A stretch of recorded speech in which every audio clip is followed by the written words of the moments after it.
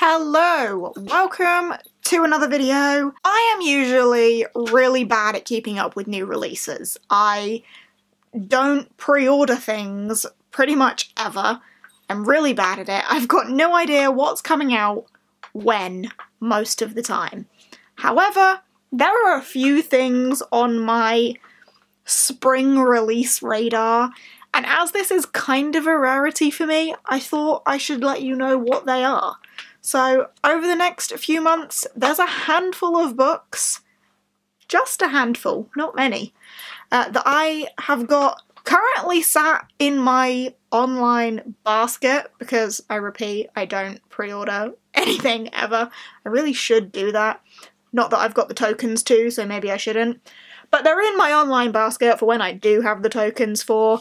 Um, and I'm going to take you through what they are. So if they're not on your release radar, maybe they should be. First up on my list is The Last Phi Hunter by Salinee Goldenberg. This comes out on the 9th of April, so it is the closest to release on this list. Um, apologies if I keep looking over here as well, it's where I've got all my notes on all of these books written out. So, The Last Phi Hunter 9th of April, which is about a young man called X who is a Phi hunter. He is the youngest Phi hunter of the Phi hunting order, and he has spent his life so far hunting and slaying ghosts and demons, which is pretty cool.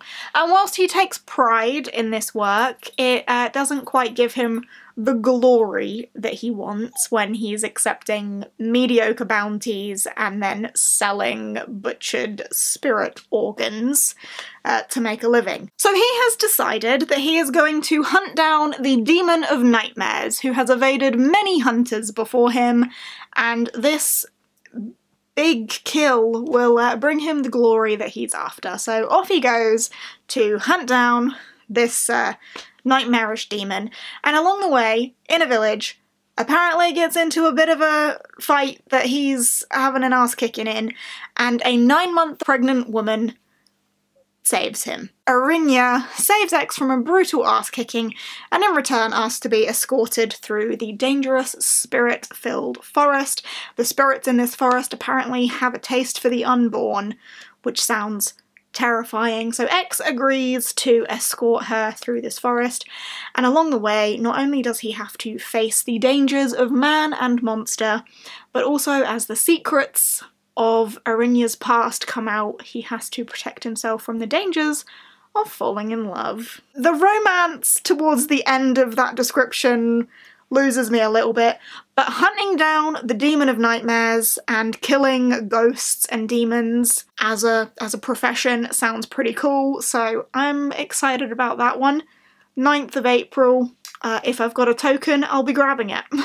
then the 25th of April has a few on the list. The 25th of April is clearly a big release day. Uh, the first one I've got down for the 25th is Skandar and the Chaos Trials by A.F. Steadman. This is the third book in the Skandar and the Unicorn Thief trilogy. Uh, it is Skandar's third year um, training with his unicorn. Um, if you're unfamiliar with that series as a whole, it is uh, unicorns as you have never seen them before. It's a middle grade series. Uh, unicorns are not quite as uh, wonderful and magical as you may be used to seeing them. And I always say with Skandar, it's kind of in the same realm as Nevermore in terms of it's a middle grade book that I think everyone can find something to love about it. I thoroughly enjoy it, even when I haven't necessarily been in a middle grade mood. Skandar has still been one that I've enjoyed, so I I recommend it highly. But yeah, we're up to the third one. There are elemental trials, there is danger, bonds and friendships will be put to the test. I cannot say too much because obviously full of spoilers because it will be book three, uh, but I am very excited about continuing that series. Um, and didn't realise that that one was actually going to be out quite so soon. I feel like I didn't read Skandar and whatever the second one's called that long ago, so I'm excited to get my mitts on that. Also on the 25th of April, we have The Silver Blood Promise by James Logan, and immediately when I was looking up at this one, it is comped to James Islington.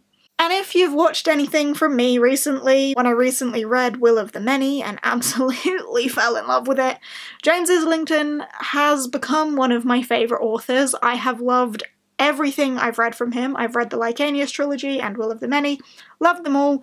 It's all five star material, so comparing to James Islington, we're off to a good start with this uh, James Logan chap. This one is about a young man called Lucas who is an academy dropout, starting strong. And thanks to a duel that ended badly, he is also the disgraced heir to a noble house. His life consists of cheap wine, rigged card games, and wondering what his life's purpose is, how to get his life back on track, what is he doing with himself. Relatable. then he discovers that his estranged father has been murdered, and this sparks something within Lucas and um, he finds his purpose and vows to unravel the mystery behind his father's murder. This mystery takes him to a fabled city of merchant princes where anything can be bought if you pay the right price. But when you're trying to buy the truth, it turns out the truth has the deadliest price of all. Interpret that as you will. I don't know quite what that means, but I am intrigued. I'm excited about that one. I have heard some very good early reviews on that one. I know a few people that have read Arcs of It and loved it very much. It's been getting some some good feedback from people that I trust. I'm excited about that one. Quite a bit. Um, and then the third one for the 25th of April, very busy book release day, is Dragon Rider from Taran Matharu. Now, Taran Matharu is an author that I feel like I hear about a lot. I have just not got into Taran Matharu myself. Uh, maybe Dragon Rider will be that book, or maybe it'll be another book of his that's just kind of on my radar and I never get round to. I don't know. I think I'll see how the reviews start coming in for this one. This follows a young chap called Jay. Jay is a royal hostage and a servant to the empire that killed his family and now rules over his people. He watches from afar as this kingdom becomes stronger and stronger, and a new alliance is formed with a princess from a northern icy realm. That's where this one might get me, you know. It could be the northern icy realm. If there's a hint, little sprinkle of polar in there, could do it for me. Uh, what could also do it for me is that this princess, when she's coming over to strike this alliance and be betrothed to the prince or the emperor or whoever it is, is that she brings gifts, and those gifts are dragons. And those dragons are only supposed to be able to be bonded to the royals.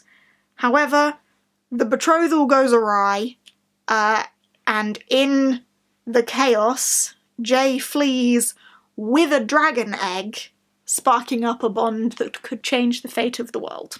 So I don't know. It's got some buzzwordy bits in there. There's an empire in a little bit of turmoil, there's dragons, there's a icy realm involved. It could be one I enjoy, but I do think I'm going to wait and see how some of those reviews come in first to see if I get my mitts on that one. Another one that is in my basket uh, is How to Become the Dark Lord and Die Trying by Django Wexler. this one sounds funny and I'm quite excited to get my hands on this one. I think it's going to be a good time. This one comes out on the 23rd of May. Uh, this is about a young woman called Davy uh, who is stuck in a time loop. She's stuck in a time loop and in this time loop she has tried time and time again to be the hero and take down the Dark Lord. And every single time, the hundreds of times she's rallied against the Dark Lord, she always fails. The time loop always catches up with her, and she is defeated. So now she is done being the hero, and she is over being stuck in this time loop. And if the Dark Lord always wins, then she's gonna become the Dark Lord. What better way to defend the kingdom from the Dark Lord than to become the Dark Lord herself? I think this could be quite funny. The title itself suggests so, how to become the Dark Lord and die trying. Like, we already know it's not going to go well for poor Davy. but I think this could be fun. Sounds like a good time. So I'm up for that one. And then the last one on my list, this one comes out on the 25th of June, so we are heading into summer a bit more here, but it is Saints of Storm and Sorrow by Gabriella Buba. This one is about a woman called Maria Lunaria, who is a bisexual nun living a double life. On one hand, she is a dutiful nun devoted to the people who colonized her land, looking after the people, being Sister Maria.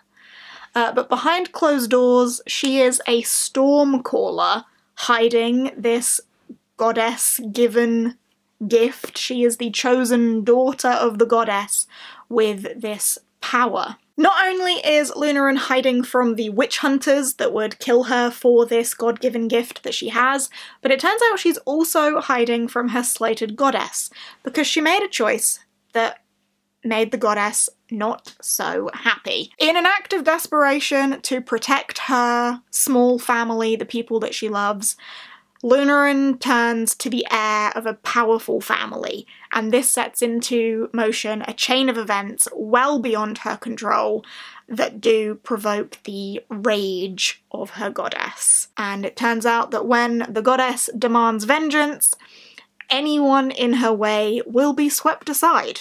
So we've got an angry goddess, a god gifted nun, um, and a bunch of people that sound like they deserve what's coming to them. So that sounds like it could be a good time. I think I'll probably get my mitts on that. Quite buzzwordy. Sounds like a good time. A goddess's rage.